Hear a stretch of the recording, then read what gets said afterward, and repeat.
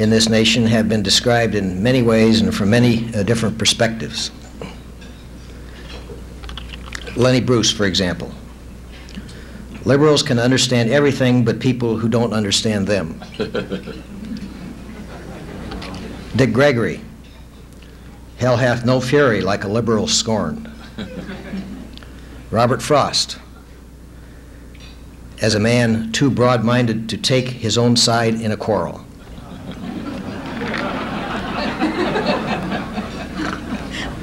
By our speaker today, a liberal is a person who believes in civil rights and civil liberties and in the powers of government, not only for civil rights, but for the economic welfare of the people who have the least. Quoting from the introduction to a to an article in a recent issue of Public Citizen titled They Made All the Money, but I Had All the Fun. And I quote 53 years ago, Joseph L. Rauh Jr. joined the battalion of enthusiastic young believers in good government who descended on Washington to help build Roosevelt's New Deal. Though the crusading spirit of that time has all but disappeared, Rauh's New Deal idealism has not. Civil liberties lawyer and lobbyist, combatant of McCarthyism, counsel to unions as well as to union dissidents, and tireless supporter of long shot liberal causes, Joe Rauh, through the years, has remained true to his original political instincts. Uh, Mr. Rauh is currently in residence uh, for a couple of weeks in Eugene this spring, having been appointed as this year's Wayne Morse Chair of Law and Politics at the University of Oregon. Please welcome with me a true legend in his own time, Joseph L. Rauh Jr.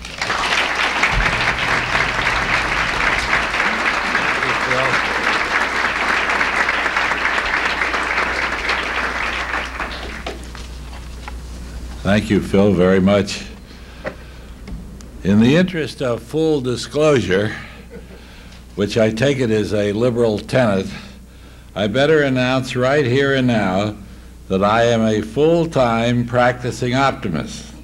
I am aware, of course, of another superannuated fellow who was asked, why, if you're such an optimist, are you always so grumpy? Oh, he replied, it's a damn hard to be an optimist in these times. but that's not my kind. I'm a happy optimist who's as proud of that fact as of the ACLU membership card I'm carrying in my pocket. Uh, having announced my prejudices, let me go one step farther in disclosure and answer the question posed in the title of this uh, talk. A great deal has happened to liberals during the past five and a half decades, the span from the days of Franklin Roosevelt to the present, which incidentally happens to be the span of my own active life. But nothing that has happened in that period on the way to the future shakes my deep faith that liberalism remains the way of the future. Conservatives' plans for dancing on its grave have, in my opinion, as little chance of fulfillment as their dreams of Star Wars defenses to the dangers of nuclear attack. Liberalism has existed in widely varied forms over many centuries, even millennia, but the essence of today's liberalism, it seems to me, has its roots directly in the Roosevelt New Deal. The heart of New Deal liberalism was a belief in affirmative government, a belief in a can-do government, a belief that government must act for the powerless third of our nation, ill-clothed, ill-fed, and ill-housed. The New Deal transformed the stark runaway capitalism of Harding, Coolidge, and Hoover into a welfare state determined to relieve the suffering at the lowest rungs of the economic ladder and build a system that provides at least some measure of economic security for all our people. Roosevelt brought into being Social Security, unemployment compensation, federal relief measures, minimum wages, maximum hours, ban on child labor, securities and utilities regulation, bank deposit insurance, farm and union protection. that the basic structure of the welfare state is here to stay is evidenced by the failure of the ultra conservative, if often politically pragmatic, Ronald Reagan to do more than challenge it around the edges and decrease its funding. Call it what you want socialism, social democracy, uh, liberal capitalism. The welfare state reform of stark capitalism is at the heart of contemporary liberalism. But liberalism today is far more than affirmative government in support of the welfare state, far more than efforts to build into our system a significant measure of economic security. Liberalism has an abiding faith in civil freedom. It stands today as a defender of minority rights and the liberties set forth in our incomparable Bill of Rights. There is no inconsistency between a belief in utilizing government to bring about an economic system fair and equitable to the individual and being wary of government interference with the rights of speech, thought, religion, privacy, and political association. Both protect the individual. The true inconsistency is the conservative belief that only market forces, not government, should rule the economic side of our lives, but government interference in the bedroom, in prayer, in political belief is quite acceptable. Liberalism demands that government protect the individual from the insecurities of economic life without interference with the liberties we all inherited in our Bill of Rights. The other side of civil freedom is the right to non discriminatory treatment at the hands of both government and private citizens. It was only natural that the struggle for civil rights since the end of World War II should come to have a high place on the liberal agenda. The right to be free of discrimination because of race, creed, color, national origin, sex, handicap, uh, age, and yes, sexual preference stands with economic and social rights at the core of liberalism. But liberalism encompasses still more. A corollary to the liberal belief in affirmative government is the belief that government officials should dedicate themselves solely to the public interest, not at all to personal gain. If one believes that government can't do and is the part of the problem, as the two preceding presidents did, this is bound to be an incitement to government sleaze. If one believes that government can do, that affirmative government builds for a stronger nation, then the necessity for a clean government is obvious. Let me just add that when the young liberals of the Roosevelt day who manned that Roosevelt New Deal, uh, just let me say that those young liberals would have torn limb from limb a Bert Lance, an Ed Meese, or a Jim Wright. Liberalism today, I submit, in some it's not too different from what the chairman read, except he said it in fewer words. Liberalism today, I submit, expresses an abiding and compassionate faith in ethical affirmative government and civil freedom and supports the right of the individual to a fair measure of economic security, to the fullest protection of liberties encompassed by the Bill of Rights, and to a life of dignity without discrimination on the grounds I've already expressed. I have not, you have undoubtedly noticed, included foreign affairs side of liberalism. I'd like to be invited back one day, and I know I won't be if I hold you too long. Suffice it to say that I find in liberalism neither pacifism on the one hand nor militarism on the other, but rather a pragmatic belief in whatever measures best protect our national interests and ensure the peace. I find no inconsistency between the demands of liberals for war preparedness against Hitler and his Nazis in 1940 and 41 and the more recent opposition of liberals to the Vietnam War and to aid for the Contras in their struggle with the Sandinista. Resistance to Hitler and the Nazis had a very real self-interest component for the United States and the world. The efforts to defend the corrupt South Vietnamese government and to overthrow the government in Nicaragua had no national self-interest rationale except unreasoning anti-communism. This talk will necessarily have to be limited more or less to the domestic aspects of liberalism. I guess I'm no different from anyone with else suspected of liberal tendencies in having to respond repeatedly to the question, what's wrong with liberalism today? My answer? Nothing is wrong with the philosophy of liberalism today. What makes it appear to be losing out to conservatism is a number of societal changes and an equal number of liberal mistakes. Let's take a look at the societal changes first. John Galbraith, the eminent liberal economist, put it well in an article last month in the Boston Globe. He wrote about those living on the edge of economic fear or the realization of that fear fear of unemployment, punishing prices of farm products, fear of small business disasters, fear of the terrible inevitability of impoverishment in old age or in illness. The liberals held power, he wrote, from the promise to mitigate fear and its Uh, utterly common realization. A very large proportion of the population, he said, became secure, comfortable, and happy, whereupon, not surprisingly, they joined the comfortable and conservative majority. To this degree, it might be said, liberals and their welfare state worked themselves in part out of a part of their job. I suppose that is what President Kennedy meant when in 1961 he told an ADA delegation complaining of 7% unemployment that the employed 93% of the people might not support the proposals being made for their lesser fortunate uh, colleagues.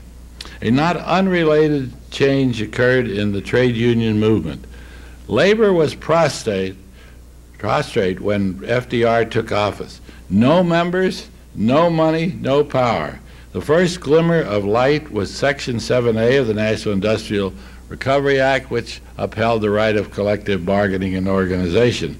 Even more impetus for labor organization came from the Wagner Act, strong administrative provisions to enforce the right of unionization and collective bargaining. Finally, whether we liked it or not, FDR's court packing plan pushed the Supreme Court into upholding the Wagner Act. For a substantial period, the labor movement recognized its debt to liberalism, and the liberals recognized the great force labor could put behind liberal goals. The Liberal Labor Alliance flourished. Lib Lab became a commonplace term for the left side of the political spectrum. Lib Lab reached their pinnacle of cooperation and success in the surprise reelection of President Truman in 1948. But Lib Lab is heard no more. Liberals have been alienated by the extreme right wing foreign policy of the dominant labor leaders. While liberals marched against President Johnson's involvement in Vietnam, George Meany called for harsher military measures than even Johnson was ready to undertake.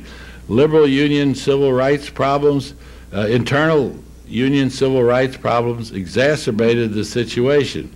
Then, too, as the labor movement grew older, the idealism and union democracy of the 1930s and the 1940s began to dim.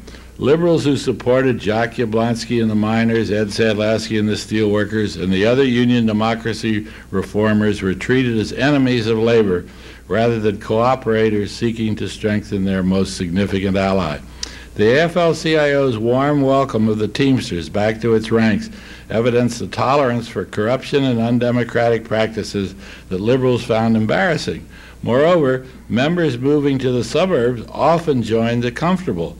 Small wonder that union leaders had diminished political clout with their own membership. Labor quite naturally resented liberal criticism, and more and more the two groups have gone their own ways. A third societal change affecting liberalism, or more accurately, liberal politics, resulted from the civil rights struggle. Two events in that struggle should be noted at this point. The first occurred back in 1948 when Hubert Humphrey, supported by both the liberals and the frightened city bosses, persuaded the Democratic National Convention to adopt the first specific civil rights plank of a major political party since Reconstruction days. In a word, that action tied civil rights to the masthead of the Democratic Party and made it the pro black party for all time. Then came the voting rights law in 1965, dramatized by Martin Luther King and his Selma to Montgomery March, and evangelically supported by liberals. The infringement, enfranchisement of the blacks and their adoption of the Democratic Party brought a new, extremely loyal, and indispensable block of voters to the party. But this welcome development quite naturally resulted in an anti black conservative counterforce in the other party, especially in the South. Race became a significant element in American politics, and it was an easily exploitable issue. The most recent example of such uh, exploitation, of course, was the last Bush campaign's despicable use of their Willie Horton ad. Race politics have been made more exploitable for the Republicans by the advent of Reverend Jesse Jackson. What Jackson says is largely vintage liberalism with very that very much needs to be said.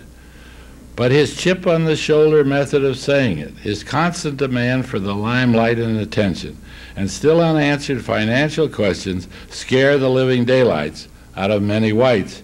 History tells us that the great breakthroughs of the type Jackson envisages for himself are not only made by are not made by militant stereotypes of the groups they represent. Let me give you some examples.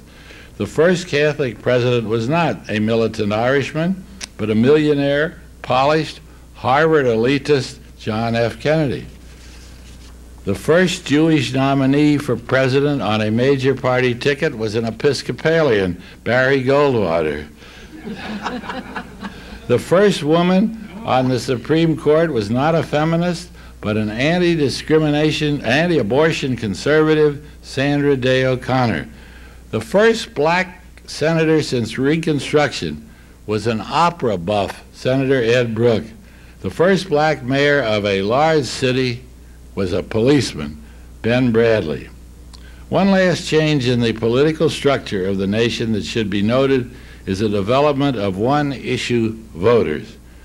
Good examples of this, of course, are the Right to Life group, whose anti abortion stance so pervades the thinking of most of its adherents that nothing else counts at the ballot box, and the adherents of the National Rifle Association, whose pro gun intensity sweep other issues aside. While a vast majority of liberals favor a woman's right of choice and strong measures against handguns and automatic weapons, their very demands for civil freedom and for full funding of welfare state programs make one issue decision making well outside liberal contemplation. Having noted some of the problems of liberalism that liberals didn't create, let's look at some of the mistakes they did make. A substantial part of these mistakes resulted from actions of the Democratic Party or its leaders rather than the liberal movement generally, but one can hardly maintain that the two are unrelated. For far, long, for far too long, liberals have been frightened by the conservative propaganda that they are big spend, big tax villains. The answer to the big spend charge is not to campaign as Jimmy Carter did as an anti government anti Washington political figure, but calmly to explain where the money is going to highly regarded, overwhelmingly approved social programs. Affirmative government has been the hallmark of liberalism back to the New Deal days and has made this a far more equitable nation. Yet most liberals and labor leaders failed to denounce the Carter challenge to this basic premise of his party or to rally to the cause of affirmative government when he challenged it. If being called big spenders has frightened liberals, being called big taxers has scared them half to death. Yet it is the 16th Amendment and the sharply progressive income tax structured under its provisions that has made possible the building of a welfare state sharing America's bounty more widely than before. I have little doubt that the American people will accept higher taxes when they approve of the programs for which the taxes are going. Nobody wants to pay taxes where money is wasted, as, for example, at the Pentagon, the darling of conservative America. But liberals have been so frightened by a tax on big taxers that they have failed to bring home to the American people the utility of the programs funded by those taxes and the vast amount of wasteful and unnecessary military expenditures that could be eliminated and the funds transferred to desperately needed social programs. Liberal fright over the tax issue reached the peak in the presidential boom of the senior senator from New Jersey, who had been hailed by many colleagues for his program of a flat tax. But it is the progressive income tax that makes possible the funding of social programs by those who have more than they need for those who have too little to survive. This modest transfer of wealth to give everyone at least some stake in society is a necessary stabilization of our democratic system. If liberals have run before the conservative spender taxer attack and have thus failed to take advantage of the affirmative government issue, they have certainly blown sky high the clean government issue that conservatives handed them on a silver platter. Precisely because Reagan prated against affirmative government and asserted that government was the problem, not the solution, there were more ethical violations, indictments, and general sleaze in his eight years in office than in any in memory. A mo- yet, Mondale, a model of probity himself, managed to blow the issue in 1984. His proposal to make Bert Lance the Democratic Party's political boss, his contention that expenditures by those running as his convention delegates didn't count against his own expenditure ceilings, and his failure to make any check on Mrs. Ferraro's husband's finance put the sleaze factor in issue. But at least you could say Mondale and his staff made those three blunders themselves. Poor Mike Dukakis had the sleaze factor yanked away from him by Speaker Jim Wright. People won't listen to the plea, you're dirtier than we are. Either you can say, we're clean and you're not, or you can't make much of the sleaze issue. Another aspect of the clean government issue is that of influence peddling. Well, I've never made a count, it has always seemed to me that there are almost as many Democratic influence peddling lobbyists around Washington for the big Republican interests the Democrats allegedly oppose as there are Republicans. The watershed came in 1972 when a Democratic super lobbyist for big business interests took the Democratic National Committee chairmanship away from liberal hands. Small wonder so many people, wrongly I think, contend there is not too much difference between the parties and don't bother to vote for anyone. More idealists and less self-seeking lobbyists in high places in the Democratic Party would soon clarify the difference between the two parties. Whether from fatigue or a feeling of being on the defensive, liberals have too often in recent times failed to demonstrate the courage of their convictions. This, too, spreads confusion. Though candidate Dukakis took the liberal position on many, many issues, his flight from the word liberal confused his supporters, and the nation left everybody wondering just where he and we stood. Possibly the best example of this liberal defensiveness is what I like to call the one time syndrome. When the Senate liberals defeat a conservative or a reactionary presidential nominee, they seem almost to feel guilty about their victory and quickly confirm whoever the president sends up as the next nominee. The best example of this, obviously, is the most recent Supreme Court appointment. Robert Bork was rejected overwhelmingly by the Senate in 1987 because the majority of the people and a majority of the Senate did not want to reopen the re and refight all the rights battles of the past four decades. Bork's writings and testimony made clear he would be the Supreme Court point man on a fight just to do that exact taking these things up a second time. The right wing was infuriated by Bork's defeat. They saw in him their opportunity to overrule decisions on abortion, school prayer, affirmative action, school integration, uh, criminal procedure, and a host of other issues and that they had uh, seen snatched away from them. Many cried foul, but there was no foul. In considering and rejecting Bork's ideology, the Senate properly carried out its advise and consent function, just as we had done from earliest days. Then, after the self destruction of Judge Julius Douglas Ginsburg, came the nomination of Justice Anthony Kennedy, a closet Bork. This, this, the civil rights movement expressed concern about Kennedy, but no opposition. The Senate Judiciary Committee, relieved of any substantial pressure against Kennedy from the outside, hurried up the hearing on his confirmation and failed to press him on the views he had expressed to others, especially to his colleagues on the court and to his colleagues on the faculty about the great decisions that on the Bill of Rights when they had come down. Kennedy got a pass from battle-weary liberals in the Senate, and the result is a five to four conservative majority or even reactionary majority on the Supreme Court today. The anti-Bork effort thus ended in confusion instead of a democratic victory in defense of the Bill of Rights. An even more recent example of the one-time syndrome occurred just last month. I speak, of course, of the rejection of former Senator John Tower as Secretary of Defense, followed by the confirmation by acclamation of Congressman Richard Cheney. Instead of examining in depth Cheney's views on the great defense issues of the day, the Senate engaged in a coronation ceremony. Yet it is not unlikely that the secret that Secretary Cheney will prove even more conservative, even more militaristic, even more pro-Pentagon than the man the Senate rejected. The one-time syndrome renders the confirmation process governmentally meaningless and politically self-defeating. Too many liberals today feel on the defensive for liberalism. They forget that the most respected political leaders of this century, Theodore Roosevelt, Woodrow Wilson, Franklin Roosevelt, John Kennedy, have all been liberals.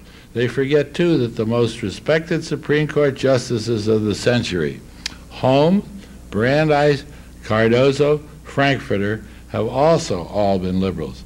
I hope you will excuse me for expressing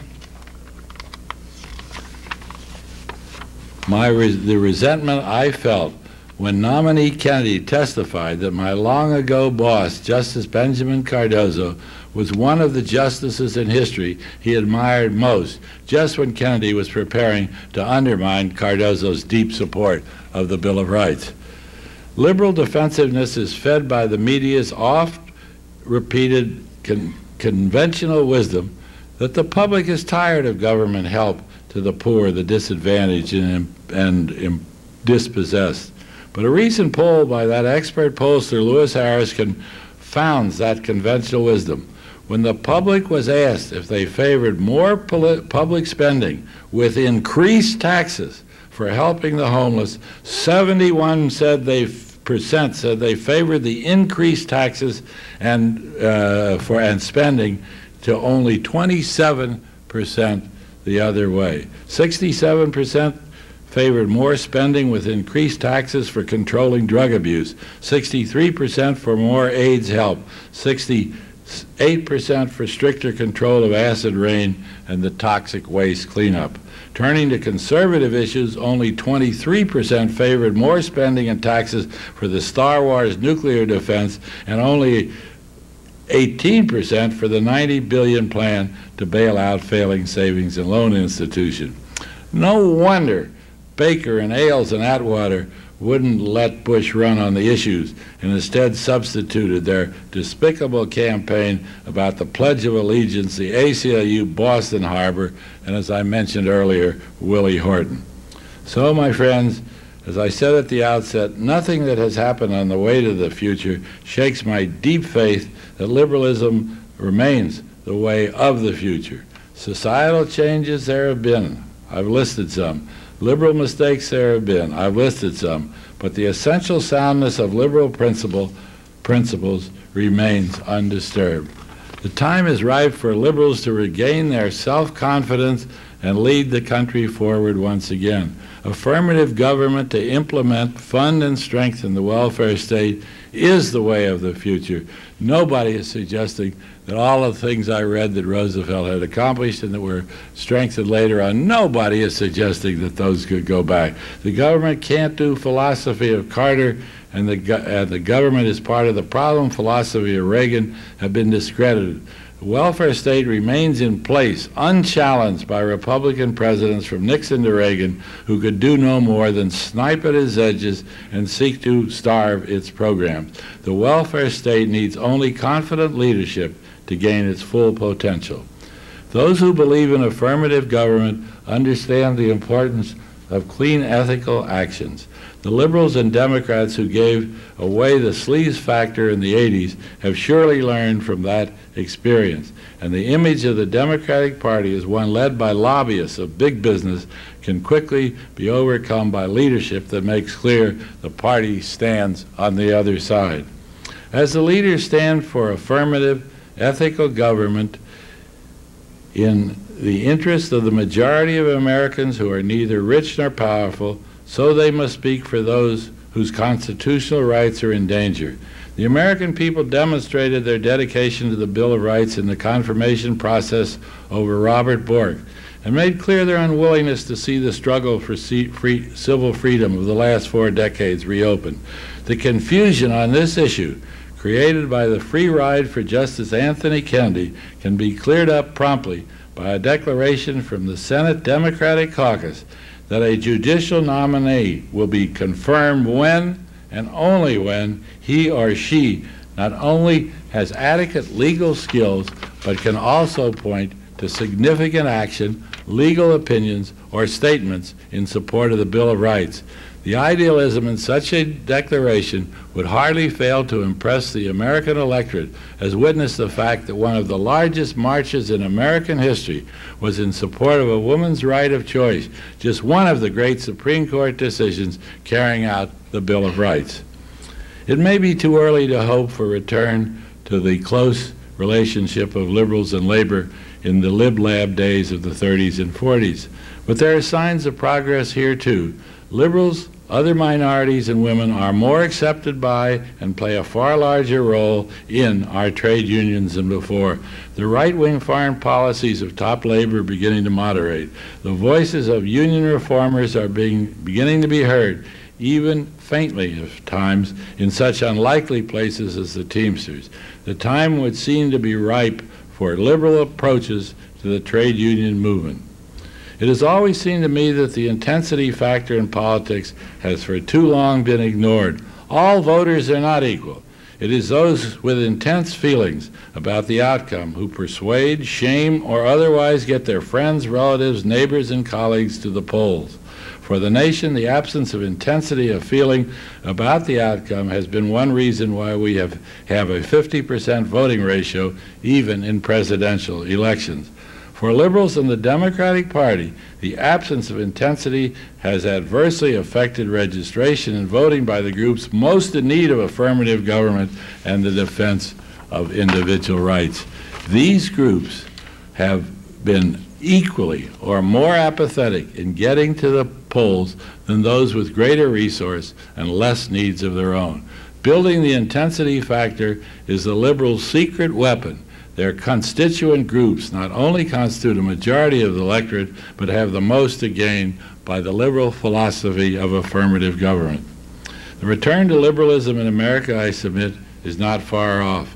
I subscribe to the 30 year cycle theory of the Arthur Schlesinger's father and son. As Theodore Roosevelt initial, initiated a liberal period in the early 1900s, Franklin Roosevelt in the early 1930s, and John Kennedy in the early 1960s. So the time is not far off when the fatigue of the 70s and 80s ends and the idealism, compassion, and energy that brought the welfare state into being returns to center stage. The Reagan heritage of homelessness, hunger, scandal, and deficit is not going unnoticed. Liberalism provides the issues for the future as it has for the past. Liberals, with the intensity of confidence, courage, and conviction of their forebears five and a half decades ago, can lead the way to a new period of enlightenment and compassion. Thank you.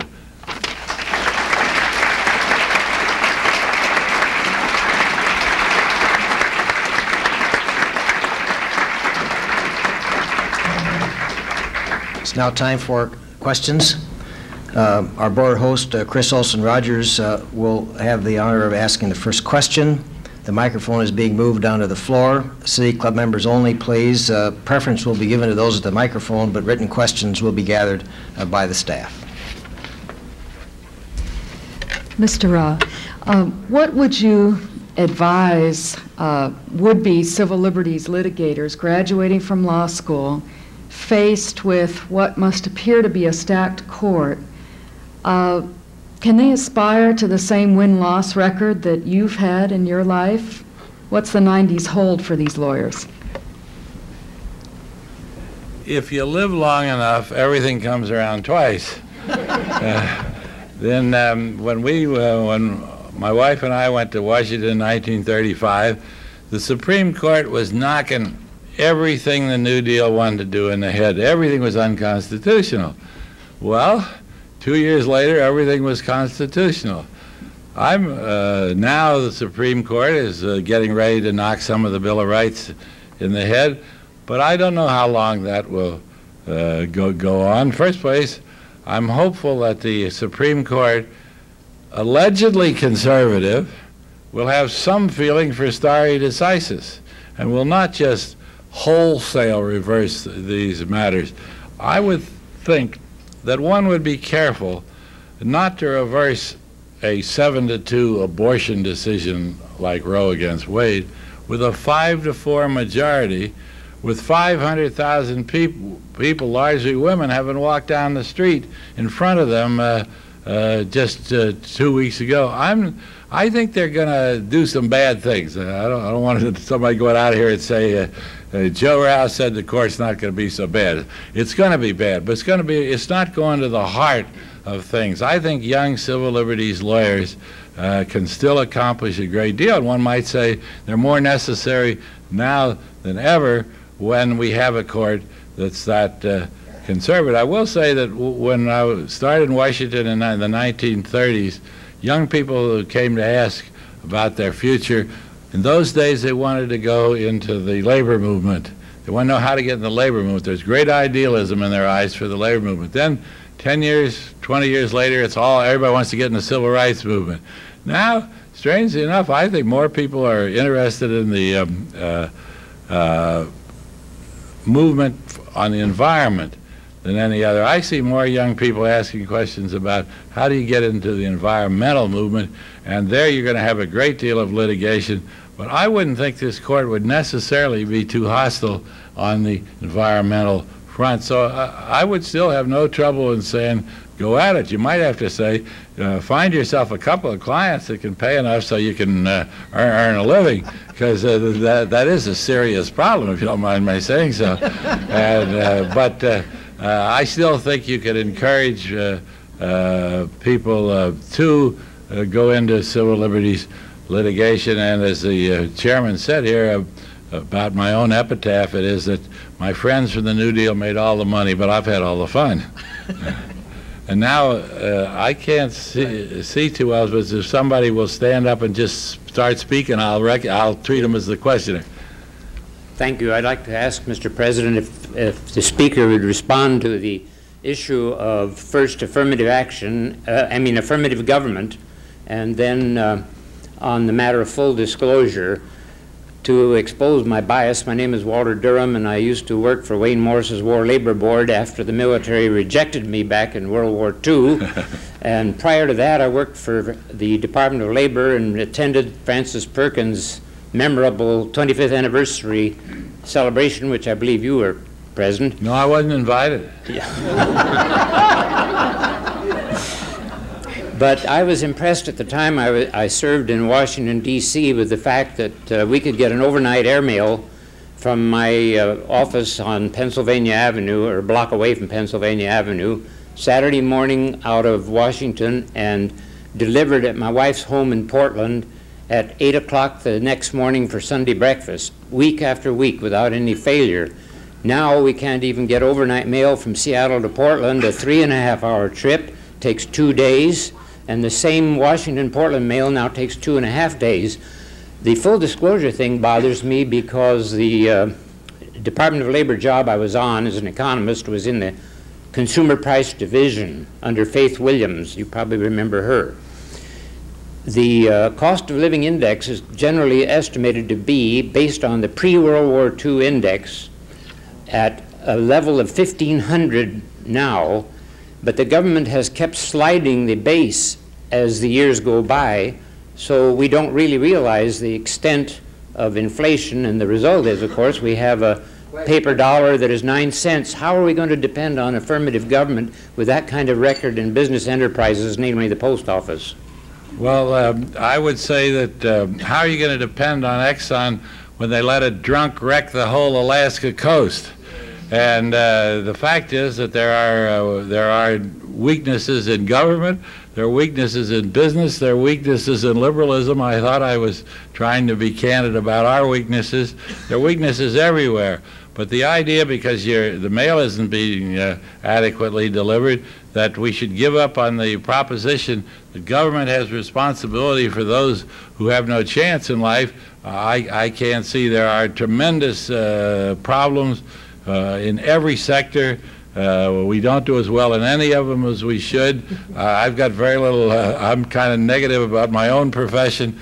I think the thing to do is to recognize that all the sectors have their problems. Government has its problems. There may be many uh, places where they're not as efficient as they should be, but the basic proposition that someone must care for those who can't, I don't think there's 10% of this country that really would like to go back to the situation as it was before affirmative government of the welfare state to go back to Harding, Coolidge, and Hoover. But uh, uh, I would not challenge the argument that there's too much inefficiency in government as there is everywhere else in our society.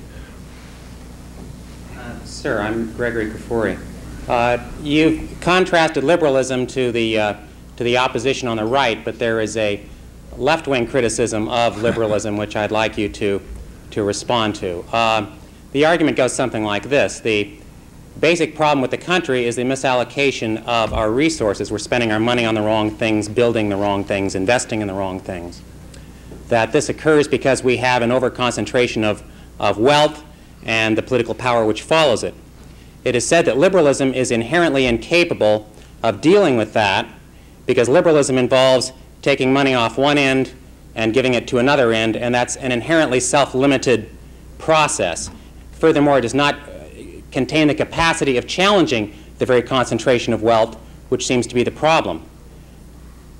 Do you believe that that, that, that is correct, and do you believe that, that, that uh, the left should go further in more direct challenges to the concentrations of wealth and power uh, through programs for initiating uh, uh increased worker control of industry and uh, direct government control of industry? Well, uh, I just uh, lay my own cards on the table. I'm not a socialist. I believe that the capitalist system has been able to do more to protect freedom, individual rights, than any other system that's been developed. It seems to me that the Roosevelt changes show that great changes can, can be made in our society. On the other hand, I would have to admit that the changes are not the changes that you're referring to. I think you'll find a great deal of the criticism of liberalism really stems uh, from the criticism from the left, as you, as you put it, stems from the fact that uh, uh, we do believe uh, that the system got pretty close to right under Roosevelt. The, the right system is a welfare state. The right system is to combine the power of the majority with uh, a capitalist system that is more takes has gives more economic security to everyone. You're absolutely right that the capitalist system, even with the welfare reforms of Roosevelt, does not call for taking away economic power. It does call for reducing economic power by the progressive income tax. That's why I uh, found, uh, and I mentioned I found the boom for uh, Senator Bradley, the flat taxer, so utterly absurd because the great point of liberalism is the progressive income tax, which was able to give those who had more than they needed uh, take from them and give it to those who have less than they need. But you're absolutely right. If you wanted to say that we have to take away the power of all all economic power, uh, that uh, I don't believe that, but I can understand that. That's socialism. I found that in this country, most socialists end up as liberals. Uh, Uh, say of uh, uh, Norman Thomas, who was probably the best-known socialism, at least socialist, at least to the people uh, who, who maybe in this room you'd think of you think of socialism, you think of Norman Thomas. Norman Thomas ended up not being a Marxist. Uh, in fact, Norman Thomas is funny. He's a Presbyterian preacher who didn't believe in the virgin birth or uh, uh, Jesus Christ going to heaven. He didn't believe in any of that stuff, but was a Presbyterian minister, and he ended up as a leader of the socialist movement in America, not believing in Marxism. And uh, uh, so that uh, I, I don't, I, there isn't much support in this country for a doing away with all economic power. I think some economic power, properly regulated, is valuable. I think that uh, the fact that there were some people in the 1950s who had enough security to fight uh, McCarthy was very important in the ultimate victory over Joe McCarthy. But, uh, but I, am not challenging your basic premise. If, if you feel you want to go that far, the liberals do not share that view. You're right. Uh, Tom Stanwood, City Club member. I was struck about your comment uh, in your remarks about uh, politicians working for the benefit of society rather than for themselves, and also about the recent fiasco of the congressional pay raise. I'd like your views on that, uh, particularly on how we can uh, send people to Washington uh, without having them rely on honorariums, PACs, and other types of special interest support. Well, I'd like to see the uh, honorariums uh, go. I'd like to see the uh, Jim Wright device to get around the uh, honorariums uh, by uh, selling books in bulk. I'd like to see those things stopped. I, but I don't know that it. you have to first decide what what is a fair pay. I think pay increase was is appropriate even right now. I think the method of getting it was pretty uh, sleazy in the sense of of uh, not, not voting it. Uh, I think that I had admiration for the guys who say, "I'll stand up and vote for it." If the public doesn't like it, uh, they have a right to, to defeat me. I thought that this method of getting around having to vote a pay increase was a, was a mistake. I'm for a pay increase. I don't know exactly how much it should be. You have to. Uh, weigh the, what the needs are. There are two houses. Uh, there's many of these people are in their 40s and 50s, and that's when you have children in college, and the price there is something tremendous. On the other hand, you don't want it so high that public that people uh, uh, resent it who are on the uh, to someone working at the minimum wage. The present salary of a congressman is pretty high. It's it's whether you're looking at it from the top or the bottom that causes the uh, uh, trouble. I, I am for some degree of pay raise voted by the people themselves voted for congressmen, but also then they voted for the judges and they voted for the uh, executive. But uh, uh, we must do away with the uh, honorarium and the sleaze that goes with that. Uh, Chris Tobkin, City Club member. Sometimes, uh, when I, especially when I speak with my parents, um, their support for affirmative government in the area of social welfare issues as homelessness and hunger uh, seems to stop on the liberal agenda uh, when you take it over to civil rights issues, particularly some what they consider liberal interpretations on criminal justice issues. Is there a way that you can reconcile one with the other? Uh, I don't be, I can't seem to find that their Roosevelt Democrat kind of support for social welfare in their mind extends across the bridge there to civil rights. What's the conflict and why? I don't think necessarily there is a conflict. I don't know the age of your parents, but a lot of the people uh in the old days uh, were uh, had the idea that blacks were inferior and didn't support the civil rights movement. There are a lot of people who supported it and thought it's gone too far in affirmative action. I happen to believe in affirmative action myself, but I understand uh, uh, that some people say now we got it equal. The law. See, our generation did turn the law of America upside down. There just isn't any question that when we started after World War II, the law of this nation supported both segregation and discrimination.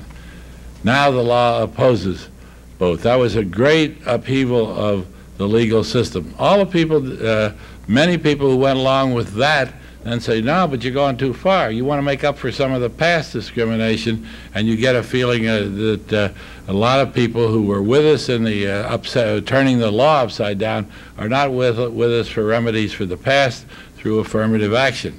Uh, it seems to me that when the government has so oppressed a group of people for so long, some affirmative action for a temporary period would be in order.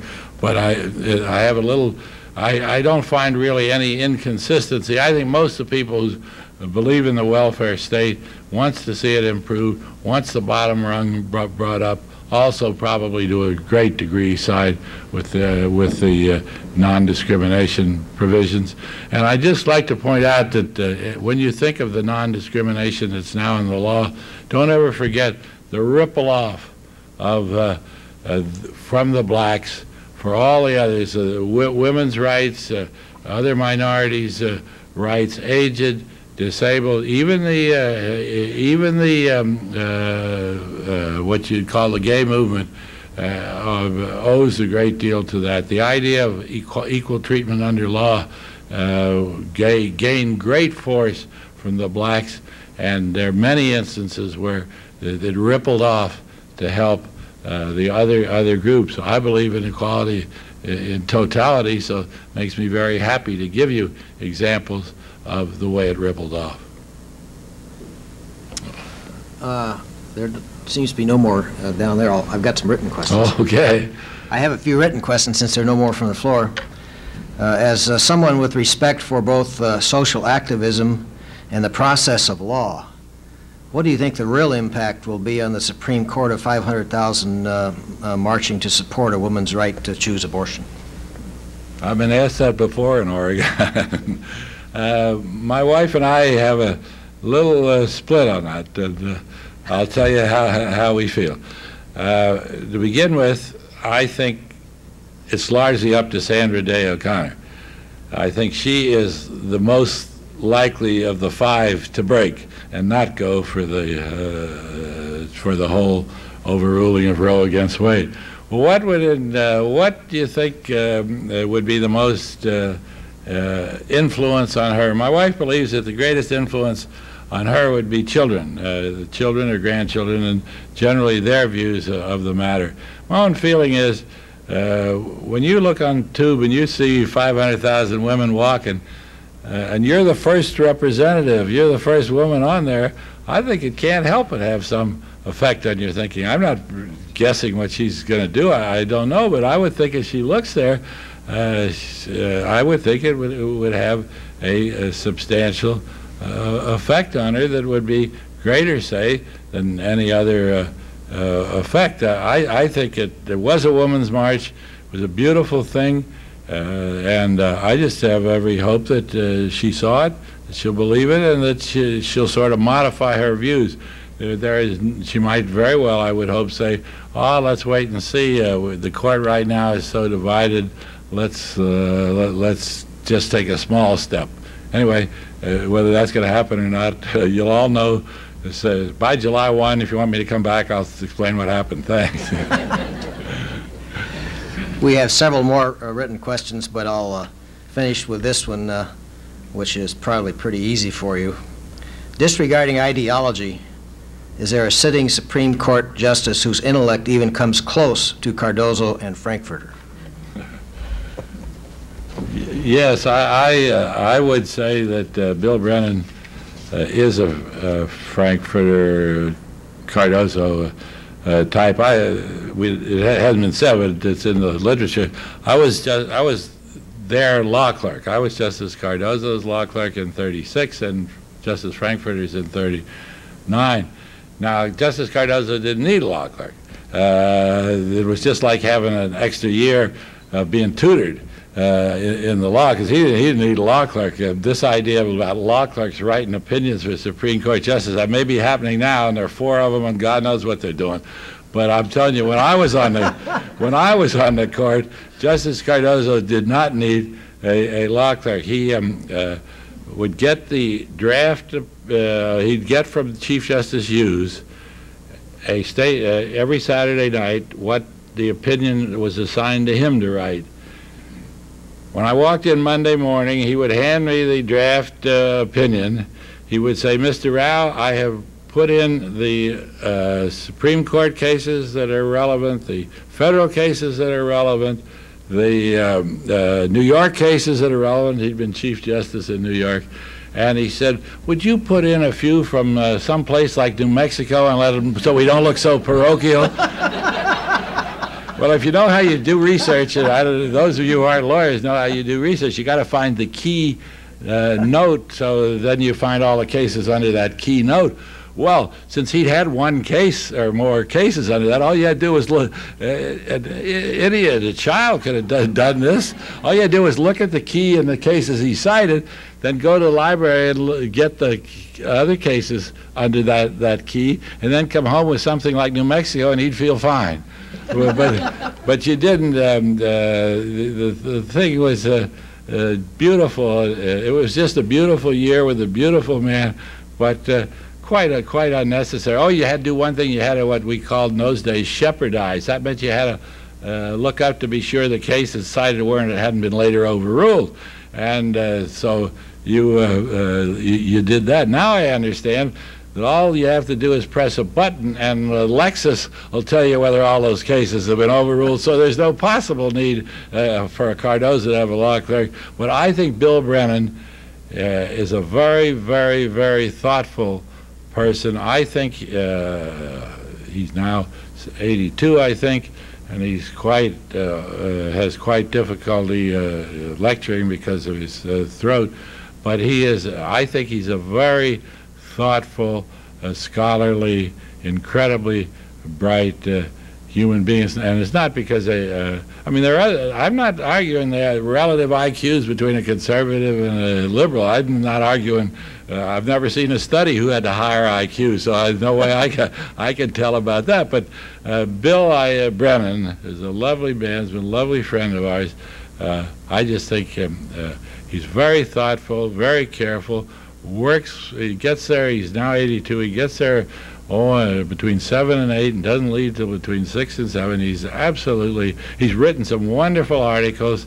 I, there, there may be research that someone else had to do for him, and, but he, he is a great, he, I believe he will go down, it'll, someday it'll be Holmes and the ones we mentioned, and then Bill Brennan.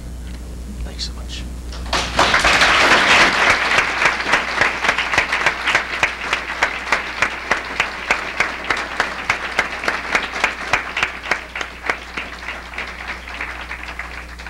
Uh, Thanks so much, Mr. Rauh. The club uh, is honored that you spent this time with us, and uh, we appreciate it. We're adjourned. Thank you, I enjoyed it.